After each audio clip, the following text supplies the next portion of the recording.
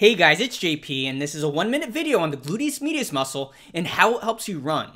Running involves forward movement of the body, but it also involves side to side and rotational forces. This is why it's important to look at the body from not only the side, but the front as well. From the front, you can see how the gluteus medius works.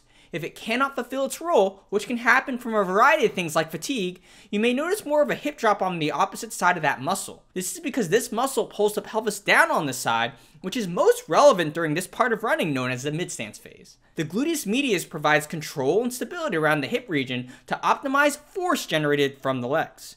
You can kind of relate this to running on sand versus firm ground. On sand, it's harder to get firm footing, which leads to increased foot movement as it slips back, and you won't move forward as far. That's why you get way more tired running on sand. The gluteus medius helps give you a firm base around the pelvic region, which reduces any excessive movement that could have occurred there and optimizes force generated through the legs to move you forward faster and more efficiently.